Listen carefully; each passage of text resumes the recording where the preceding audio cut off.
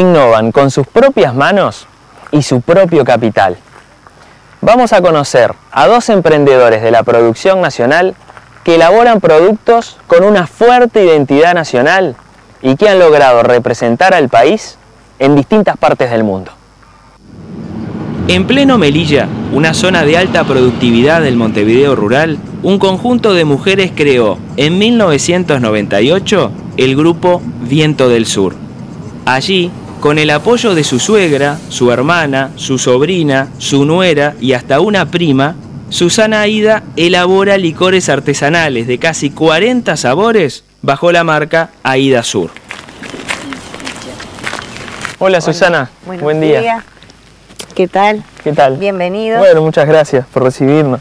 Bueno, aquí estamos en nuestro predio. Ahí es tu, tu lugar de trabajo y tu vivienda también. Todo, todo acá tenemos, este, vivimos acá, este, mi esposo y mis hijos eh, trabajan en la quinta, son fruticultores, este, y vivimos con la abuela, que la abuela eh, son las que tiene, cría las gallinas, y con, con los huevos de las gallinas hacemos licor de huevo. Claro.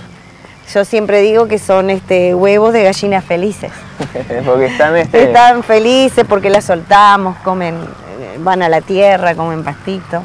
Bueno, este, y, tienen de todo realmente, ¿no? tenemos un, poquito de todo. Tenemos este viña, eh, tenemos este em, limones,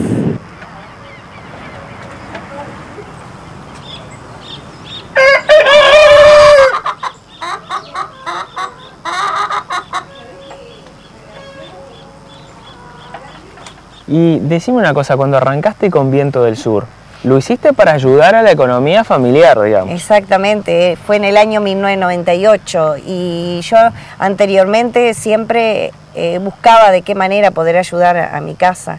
Tenía mis hijos chicos y, y, las cosas iban muy mal, venía heladas, piedras, las cosas no valían, igual que en este momento que no vale.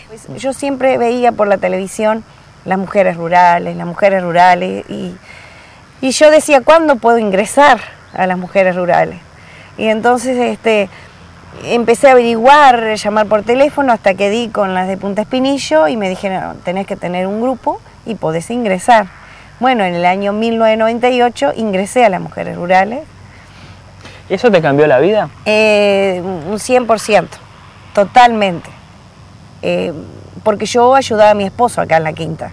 Yo trabajaba con él en la quinta. Y, pero yo quería tener eh, dinero mío, de que yo no de acá.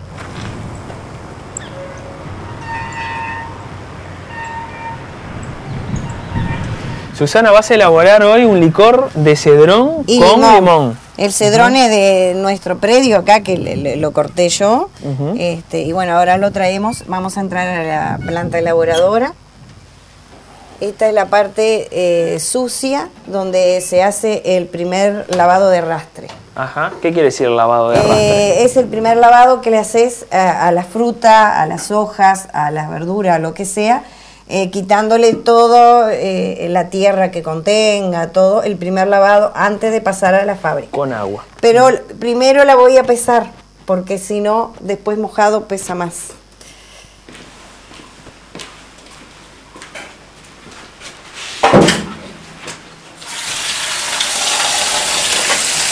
Este es el segundo lavado que hay que realizarle a la materia prima.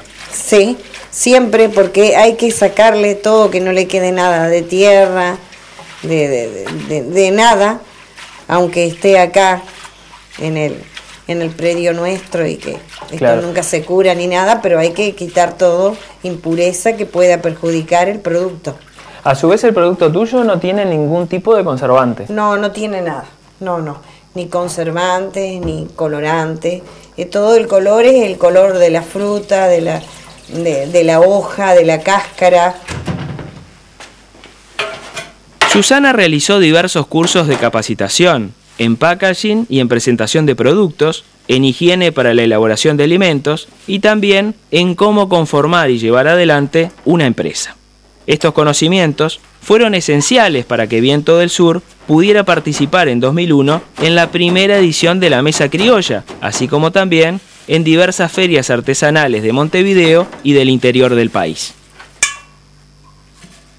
Bueno, está, después fue surgiendo que en el 2001 comenzó la mesa criolla, nos llamaron para darnos esa idea en el, en el lato y decíamos, ¿qué vamos a ir? No, pero no, vayan, no importa, la, bromatología eh, nos dan por esos días nada más. Eh, nos autorizaban, ninguna teníamos nada pero tuvimos que ir a que nos capacitaran, que le teníamos que poner etiqueta, le teníamos que poner los ingredientes, el peso neto, peso escurrido. Casi nos morimos haciendo todo eso. Porque decíamos, ¿cómo vamos a hacer eso? Que era horrible, un dolor de cabeza, no sabía, fue horrible. Bueno, etiqueta las hacíamos en la computadora como podíamos, viste, todo así muy rústico. Bueno, la cosa que fuimos a la mesa criolla y fue un éxito tan grande que todos los grupos que fuimos éramos todos mujeres rurales, vendimos todo. Nunca nos había pasado eso, que vender y vender, que, que a mí me vino tendinitis del brazo de guardar la plata acá en la riñonera. Eso fue increíble lo que me pasó que fue verdad, porque nunca nos había pasado y estamos todas locas porque todas vendíamos. Era nuestra, esa mesa criolla fue nuestra de mujeres rurales.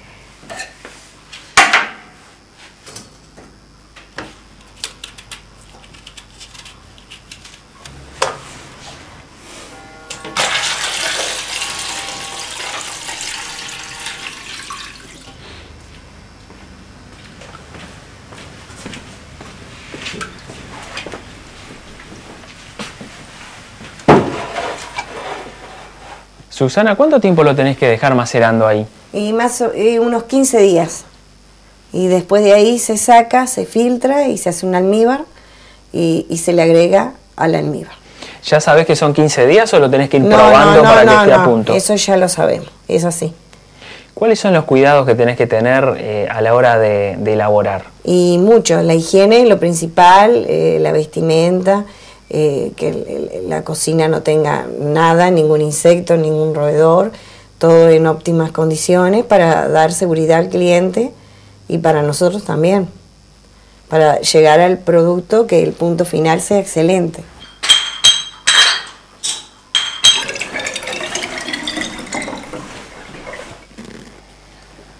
Susana, ¿este licor concretamente de qué es? Este es licor crema de vino y uvas. Este también es un licor premiado. Es un licor, el último licor premiado en la mesa criolla en el Latu. Es este hecho con uva moscatel, con eh, clavo de olor y con este alcohol rectificado de anca. Claro, riquísimo. ¿Cómo, cómo definís ¿Tenés 38 tipos distintos de licores? Sí. ¿Cómo elegís los gustos? Y bueno, uno lo va inventando, eh, piensa en qué puede uno, eh, que pueda gustar al cliente. Entonces, como siempre uno tiene que satisfacer al cliente, eh, siempre estamos este, buscando sabores nuevos. O sea, los propios clientes siempre nos preguntan, ¿y qué nuevo tenés este año? ¿Y qué nuevo tenés este año? Y es un desafío. Es un desafío cada año en, pensar en algo nuevo para, para, poder, aparte para uno mismo, porque quedan, yo que sé, quedan muy ricos. no es por nada. Todos los licores son, los que, que, haces tú, son artesanales. Sí. ¿Cuál vendría a ser la principal diferencia con uno industrial, por ejemplo? Y bueno, el, licor artesanal es hecho, eh, es con el producto macerado, sin esencias, o sea, con la fruta, con la hoja, con la cáscara, y, todo es macerado y durante, durante mucho tiempo. Eh, es hecho todo con nuestras manos, no tenemos máquina, todo es casero y como, como pueden ver, y aparte como que una le, pone un sabor eh, especial eh, al hacerlo con tanto cariño y tanto no sé, que queda diferente que si lo hace una máquina, que si lo hace una esencia. Eh, Están hechos con amor, se puede decir. Exactamente. A pesar de reconocer que con mayor capital podría ampliar su producción de licores y mejorar la distribución, Susana Aida se niega a pedir un crédito. Hasta el momento, todas las inversiones que tuvo que realizar se concretaron únicamente a fuerza de ahorros propios.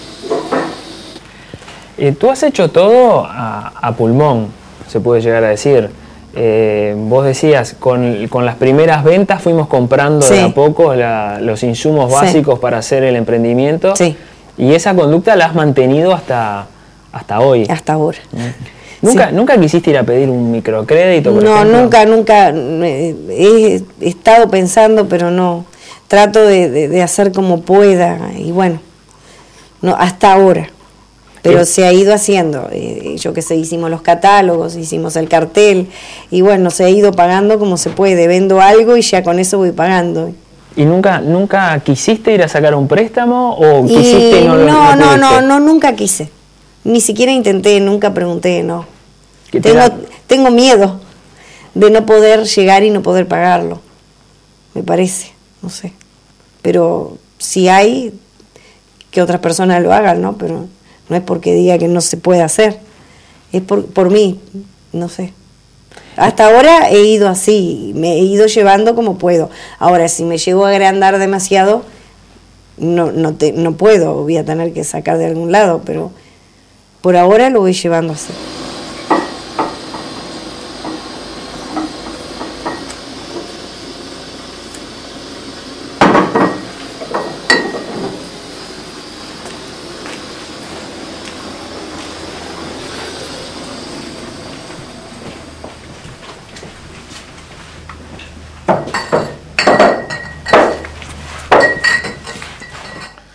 Susana, ¿cuál es el licor que más se vende? Bueno, el, licor eh, estrella, el más original, diríamos, es el licor de especias Ruta de las Indias, este, que es este que está acá. Esta es una creación que es, es un conjunto de especias y queda tan particular el sabor que, bueno, hasta la persona hasta que no lo prueban y después que lo prueban ya cliente para siempre. Y después también está el licor de dulce de leche, limonchelo, este de vino y uvas, que es el, ganador también de la última mesa criolla. Eh, tenemos este de dulce de leche con cacao, que también es uno de los que más se vende. Claro, que también ganó un premio. Que ganó premio en el Lato.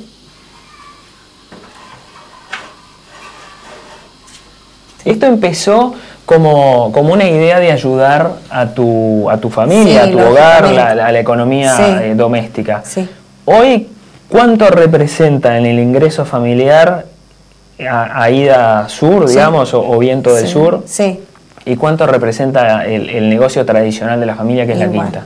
Y creo que representa bastante, es una ayuda muy grande. Este, mis hijos han podido estudiar, eh, que es lo principal, y bueno, han tenido siempre sociedad médica, que antes había que pagar, eh, muchas cosas y he ayudado mucho y creo que, y como para mí, como persona y para, para mi prima, para mi nuera, para, para mi suegra, o sea, todas las mujeres, poder eh, salir adelante y sacar la casa, ayudar.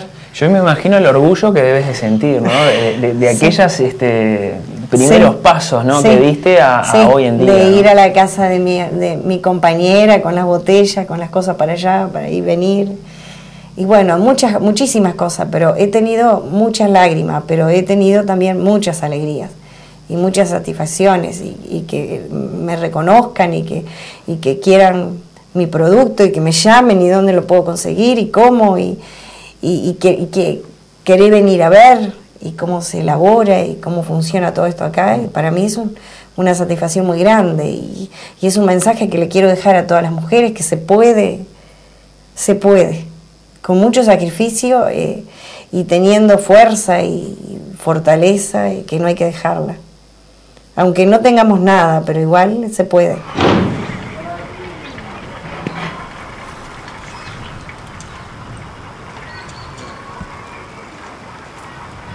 Susana supo transformar una crisis en una oportunidad y más que un complemento para su familia, generó una empresa exitosa. Ahora vamos a conocer a otro emprendedor de la producción nacional cuyos productos representan al país en el mundo entero.